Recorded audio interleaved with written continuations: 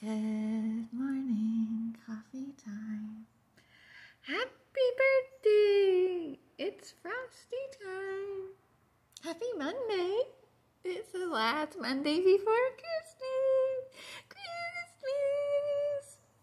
I'm excited. Going to the grocery store. Gonna buy all the foods for Christmas. Or at least some. Some good steaks and such. I know, not a traditional Christmas food, but whatever. It's fucking delicious. Oh goodness, airplane getting getting strafed overhead. Uh, happiness action. Help others by giving away something that you don't need. Oh, that's wonderful. Donate all your shit now. Get rid of it. I donated a whole bunch last week just to, um, you know, make room in case if you get any new presents.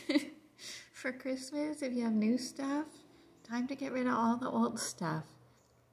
And I suppose you could wait until after you see what you get, but where's the fun in that? Just fucking throw caution to the winds and get rid of some of the shit that you didn't really want in the first place, that you're sick of, you're done with, but it's still in good enough shape that somebody else might really enjoy it and get use out of it. And maybe it'll make their holiday better. So, good luck with that. Love you guys.